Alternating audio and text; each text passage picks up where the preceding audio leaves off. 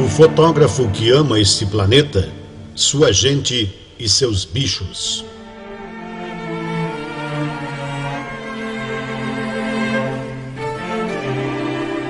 Texto de Célio Heitor Guimarães.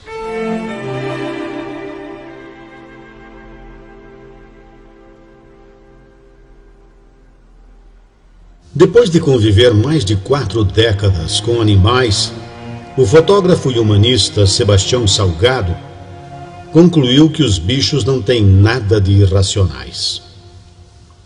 Ao contrário, está convencido de que eles são tão racionais quanto nós, os chamados humanos. Se não mais. Sebastião garante que os animais temem e atacam os humanos porque sabem que somos maus. E afirma que para convivermos com eles, precisamos apenas aprender a conhecê-los e a eles demonstrar que também podemos ser, apesar de tudo, pacíficos e inofensivos. Numa noite dessas, Salgado contou ao jornalista Roberto Dávila, sem dúvida o melhor entrevistador da TV brasileira, que somente conseguiu fotografar de perto uma tartaruga gigantesca de Galápagos quando passou a rastejar com ela e em torno dela dias a fio. O mesmo aconteceu com os crocodilos. Usando o mesmo método, com paciência e coragem, logrou aproximar-se de um bando de répteis que não apenas consentiram com a aproximação, como, jura ele, riram dele e posaram com tranquilidade profissional. Sebastião Salgado, para quem não sabe, é um sujeito extraordinário.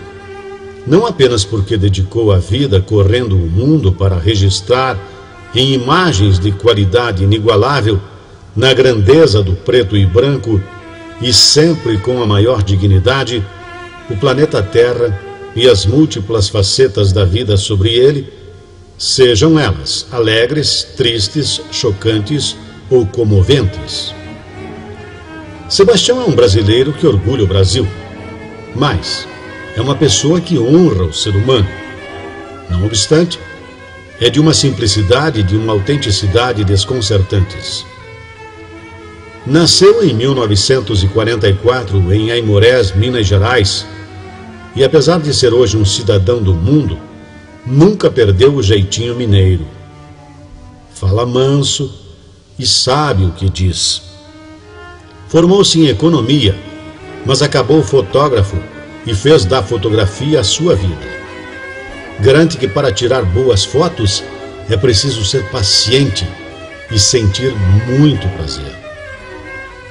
Já trabalhou para as maiores agências do mundo e recebeu os maiores prêmios concedidos ao fotojornalismo, mas a sua grande obra está reunida em publicações como Terra de 1997, Trabalhadores, também de 97, Outras Américas de 1999, Êxodos de 2000, África de 2007 e Gênesis de 2013. Sebastião ama a África tanto quanto o Brasil. Lá viu de muito perto pobreza, sofrimento, tragédia, ódio e violência. Nada pôde fazer. Era apenas um fotógrafo. Cara, muitas vezes eu não consegui fotografar. Eu tive que abandonar tudo e socorrer. Muitas vezes eu não pude socorrer, não pude fotografar. E sentei num canto e chorei durante horas. Mas fez o registro Achava que era a sua obrigação e que o mundo todo devia saber o que acontecia ali, ainda que soubesse que nenhuma foto sozinha pode mudar o que quer que seja na pobreza do mundo. No entanto, assegura que não trabalha com a miséria, mas com as pessoas mais pobres, pois elas são ricas em dignidade e buscam, de forma criativa, uma vida melhor. Quero, com isso, provocar um debate, destaca Sebastião. Foi na África em 1994, na época do grande genocídio de Ruanda, às margens do rio que separa o país da Tanzânia, que Sebastião quase foi morto. De repente, ele se viu cercado por guerrilheiros tutsis armados de enormes facões. O guia que acompanhava o fotógrafo empalideceu.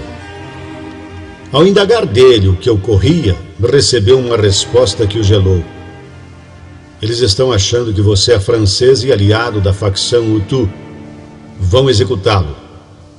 Os Hutus eram inimigos de morte dos Tutsis. Sebastião agiu rápido, retirou do bolso o passaporte brasileiro e anunciou que era do Brasil, da terra de Pelé. Bastou os combatentes ouvirem o nome de Pelé para que a cena se modificasse. A descontração foi imediata e a ameaça se transformou em congraçamento. Talvez Pelé tenha demorado a saber, mas Sebastião Salgado faz questão de contar que ele lhe salvou a vida no coração da velha África. No Brasil, Sebastião tem missão diferente. Herdou dos pais um pedaço de terra no interior de Minas e, com a ajuda de Lélia, sua mulher, resolveu transformá-lo no primeiro parque nacional em terras completamente degradadas. Pretende rearborizar tudo com espécies da flora nativa. Era mais uma de suas utopias e vai levando o projeto adiante. É o seu Instituto Terra que já começa a dar frutos, ter um viveiro com a capacidade para um milhão de plantas por ano, das mais diversas espécies que já começou a fornecer mudas para os programas ecológicos de Minas Gerais e do Espírito Santo. Faz mais, oferece orientação a guardas florestais, agricultores e prefeitos. E acolhe crianças de escolas da região, procurando sensibilizá-las desde pequenas para o problema do desmatamento. A história pessoal de Sebastião Salgado é muito bonita. Mas ainda, de certa forma, desconhecida do público brasileiro. A jornalista francesa Isabelle Franck resolveu fazê-lo falar através da escrita dela. O resultado está num pequeno volume, em descompasso com a grandeza do personagem. Sebastião Salgado, Da Minha Terra, a Terra. Edição nacional do original francês da editora Paralela presente nas boas livrarias e que deve ser recomendado com entusiasmo.